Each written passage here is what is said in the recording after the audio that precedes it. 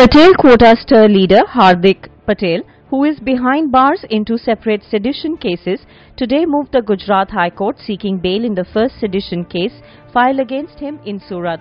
Surat police had filed a sedition case against the 22-year-old firebrand leader for allegedly inciting a fellow activist to kill policemen instead of committing suicide.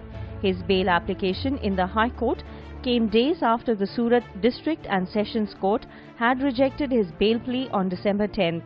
In the bail application submitted before the Surat court, Hardik claimed that he has been booked under false charges by the police as mere spoken words does not amount to sedition.